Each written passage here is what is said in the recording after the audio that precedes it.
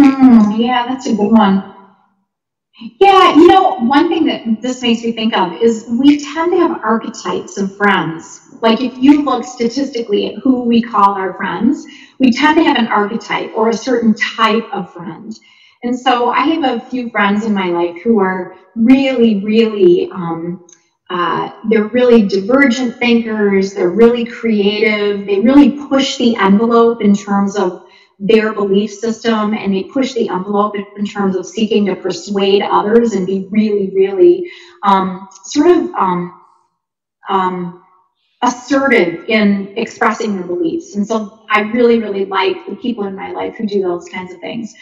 And then I have people in my life who um, push me and, you know, give me hard feedback. And I really, really appreciate that. And then I also have people in my life who are kind of safe haven friends, right? Who are just going to accept me no matter what. And we all need all these kinds of friends, right? And family. And so, um, so I invest in some really, really close friends who I trust and have deep relationships with. I also like to stay in touch with friends that I don't see as much, but oh my gosh, we can pick up a conversation at any point. Mm. And I like to invest time with people that I, um, you know, have different opinions from, like we were talking about before. And then I just invest a ton of time with family and, you know, people that I consider to be my most intimate connections. Um, and, you know, like my husband and our children and, you know, people who are really, really close. I think that's really important as well. Yeah, balancing the time is important.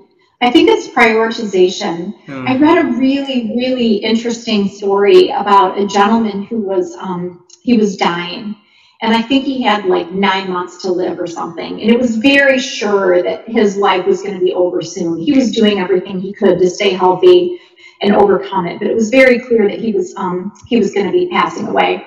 And so he drew concentric circles and in and he decided that he wanted to spend time with people who were farthest out in his network. He wanted to do that right away when he had more time.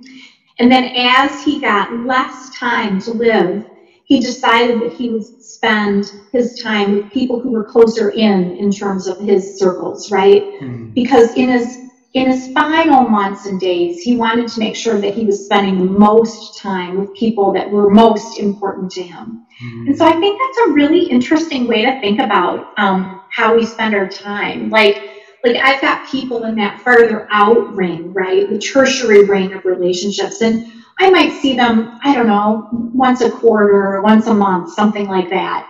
Um, and then I have people who are in that secondary circle who are really good friends, and I stay in touch with them in multiple ways, but maybe a little bit more frequently.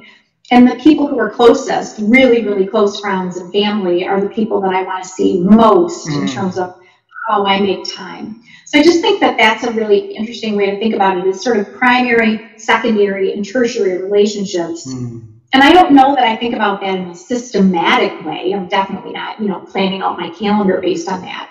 But conceptually, I think that's kind of how it works in terms of how we're intentional about spending time where we want to spend time, but also not in a way that completely will overwhelm us.